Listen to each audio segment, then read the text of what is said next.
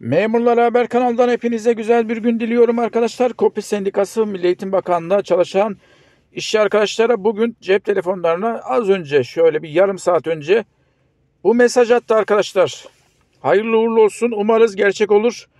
Değerli üyemiz Milli Eğitim Bakanlığı başta olmak üzere kamuda geçici işçi statüsüyle çalışanların sürekli işçi kadrolarına geçilmesi hususunu bugün yapılacak Cumhurbaşkanlığı kabine toplantısının gündemine gelecektir.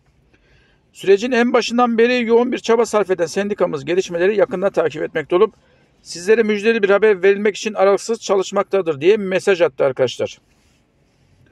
Hayırlısı olsun bakalım akşam saat 18 civarında Cumhurbaşkanlığında kabine toplantısı yapılacak. Tahminimize göre herhalde bir saat e, akşam 20 gibi Cumhurbaşkanı Erdoğan televizyonların karşısına geçecek ve açıklamalar yapacak. Bakalım neler olacak arkadaşlar. Sözleşmeli çalışanlara kadro meselesi bugün açıklanacak onu biliyoruz. Bunun arasına umarız taşerondan kadroya geçen işler de eklenir bugün için. Bakalım neler olacak arkadaşlar. Biz Cumhurbaşkanı bu akşam ne açıklayacaksa hemen size yayın yapacağız. Açıklaması biter bitmez bilginiz olsun. Takipte kalın arkadaşlar. Hayırlısı olsun bakalım neler olacak akşam. Takipteyiz.